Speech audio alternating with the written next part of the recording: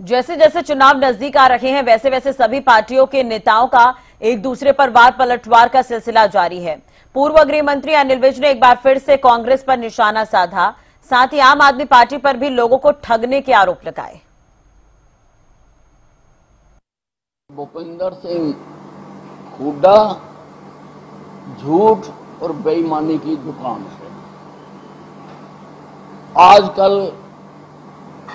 ये झूठे वादे कर रहे हैं कि हम कच्चे कर्मचारियों को पक्का करें एक अच्छी बात है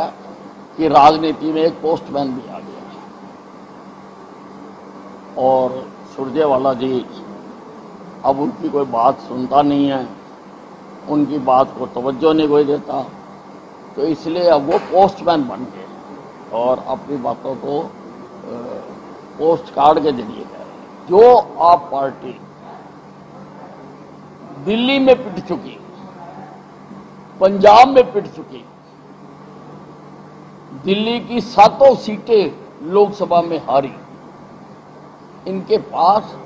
कोई काम बताने के लिए नहीं है, सिवाय ठगी के, और किस प्रकार से एक ही इनको फार्मूला आता है